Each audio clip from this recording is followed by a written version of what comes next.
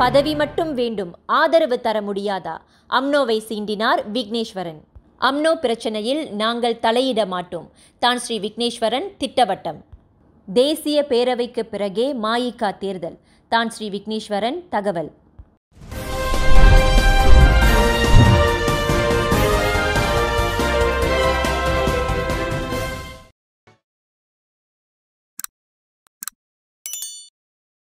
தற்போதுள்ள நிலையில் பிரதமர் தான் ஸ்ரீ முஹிதீன் யாசின் தலைமையை மாயிகா ஆதரிக்கிறதா என செய்தியாளர்கள் எழுப்பிய கேள்விக்கு பதிலளித்த தான் ஸ்ரீ விக்னேஸ்வரன் நிச்சயமாக ஆதரிப்போம் என்றும் காரணம் எங்கள் கட்சியை சார்ந்து ஒரு இந்திய அமைச்சர் இருக்கிறார் என்றும் தெரிவித்தார்.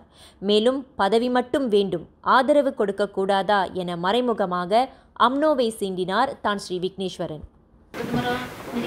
ஆமாங்க அவருக்கு அவருக்கு நிச்சயமாக நாங்கள் ஆதரவு தெரிவிக்கிறோங்க. ஆதரவுக்கு நாங்கள் நாங்கள் தெரிவிக்கலைன்னா எப்படிங்க என்னோட துணை அமைச்சர் து என்னோட துணைத் தலைவர் அந்த அரசாங்கத்தில் மாநில ஒரு அமைச்சராக இருக்க முடியும்? பதவி வட்டம் வேணும் ஆதரவு காட்டக்கூடாதா? இங்கே நல்லா கேட்டுக்குங்க.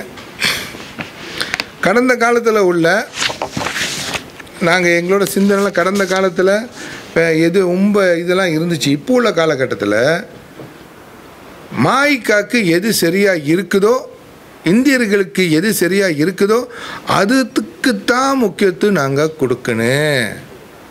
விக்னேஸ்வரனோட சுயநலத்துக்கு இல்லை. இல்லை டத்தோஸ்ரீ சரவணனோட சுயநலத்துக்கு இல்லை. ஆனால் அதுக்குன்னு எங்கள் கூட இருந்த அறுபது வருஷம் உள்ள அம்னோவை கைவிட மாட்டோம். அம்னோ பரிசா நேஷனில் தான் நாங்கள் இருக்கிறோம். ஆனால் இப்போ உள்ள சூழ்நிலையில் ரொம்ப பிரச்சனை இருக்குது யார்? பிரதமர். அப்படின்னு என்ன நீங்கள் கேட்டிங்கன்னா நான் என்ன செய்வேன்? தான் ஸ்ரீ மொய்தீன் யாசின் தான் சொல்லுவேன். அம்னோ பிரச்சனையில் மாயிகா தலையிடாது என்று மாயிகா தேசிய தலைவர் தான் ஸ்ரீ விக்னேஸ்வரன் தெரிவித்துள்ளார். தற்போது அம்னோ கட்சியில் இரண்டு பிரிவுகள் இருப்பதாகவும் அதில் ஒரு தரப்பு அம்னோ தலைவர் அகமது ஷாஹித் அமீடிக்கும் இன்னொரு பிரிவு மாட் ஹசானுக்கும் ஆதரவு தெரிவிக்கும் நிலையில் உள்ளதாகவும் சொல்லப்படுகிறது. இந்நிலையில் அம்னோ விவகாரத்தில் மாயிகாவின் நிலைப்பாடு என்ன என செய்தியாளர்கள் கேட்ட கேள்விக்கு அம்னோ விவகாரத்தில் நாங்கள் தலையிட மாட்டோம் என்று தான் ஸ்ரீ விக்னேஸ்வரன் பதிலளித்தார். நாங்கள் அம்னோ உள்ள அம்னோட உள்ள பிரச்சனையே நாங்கள் தலையிடுறது இல்லைங்க அது மாட்டாசான் தத்துஸ்ரீ மாட்டாசான் ஒரு நல்ல தலைவர். அவர் அம்னோவை பொறுப்பெடுக்கிற நினச்சாங்கன்னா அவங்க கட்சி அதை முடிவு பண்ணு. அவர் போட்டி போட்டு அவர் தலைமைத்துவத்தை இருக்கட்டும் அதுக்கு மாய்க்காக்கும் சம்மதம் இல்லைங்க. யார் பொறுப்பெடுக்கிறாங்களோ யார் அந்த கட்சி சம்மந்தப்பட்ட கட்சி ஆதரவு எடுத்து பொறுப்பெடுக்கிறாங்களோ அதுக்கு மாய்க்கா துணை இருந்து வேலை செய்யும்.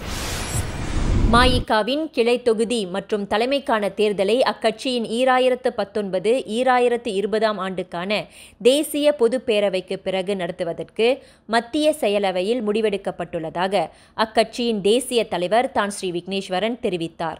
எதிர்வரும் ஏப்ரல் மூன்றாம் தேதி மாயிகாவின் தேசிய பொதுப்பேரவை கில்லானில் நடைபெறவிருப்பதாகவும் இதில் எஸ்ஓபி விதிமுறையின்படி நானூறு பேர் நேரடியாகவும் மற்ற உறுப்பினர்கள் இணையம் வழியாகவும் கலந்து கொள்ள செல்லவிருப்பதாகவும் தான் ஸ்ரீ விக்னேஸ்வரன் தெரிவித்தார்.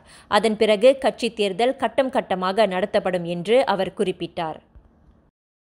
கட்சியோட மாநாடு ரெண்டாயிரத்தி ப பத்தொம்போதும் ரெண்டாயிரத்தி இருபதோட மாநாடு கோவிட் சம்மந்தப்பட்ட சூழ்நிலையில் தள்ளி தள்ளி வைக்கப்பட்டது. அது இந்த மாதம் இந்த வர மாதம் மாத கடைசியில் அம்னோவோட கூட்டம் முடிந்து பிறகு நாலா மூணாம் தேதி வேடம் ஹோட்டலில் கில்லானில் நடைபெறும். இந்த கோவிட் சம்மந்தப்பட்ட எஸ்ஓபினால் ஒரு முந்நூற்றி ஐம்பதுலேருந்து நானூறு பேரை தான் கூப்பிடுவோம். ஆனால் சட்டப்படி எழுநூறுக்கு எழுநூற்றி ஐம்பது பேர் மேலே. ஸோ நாங்கள் ஒரு தொள்ளாயிரம் பேர் வச்சு நடத்துவோம். ஆனால் அந்தந்த மாநிலத்தில். இப்போ ஜோரில் நீங்கள் எடுத்துக்கிட்டிங்கன்னா ஒரு ஐம்பது பேர் அவங்க அங்கே கூடுவாங்க. பேரால். மற்றவங்களெல்லாம் நாங்கள் எல்லாத்தையுமே வர சொல்லுவோம் கொஞ்சம் பேர்த்த. மெயினான இதுங்க நடக்கும். மற்றவங்க எல்லாமே ஆன்லைன் பார்த்து அவங்களோட இதெல்லாம் சட்டப்படி எப்போ என்ன எப்படி நடத்தணுமோ அந்த வகையில் நடத்திடுவோம். அதுக்கு பிறகு நாலாந்தேதி அஞ்சாந்தேதி ஏப்ரல்லேருந்து அஞ்சாந்தேதி மே மே வரைக்கும் கிளை கூட்டம் நடக்கும்.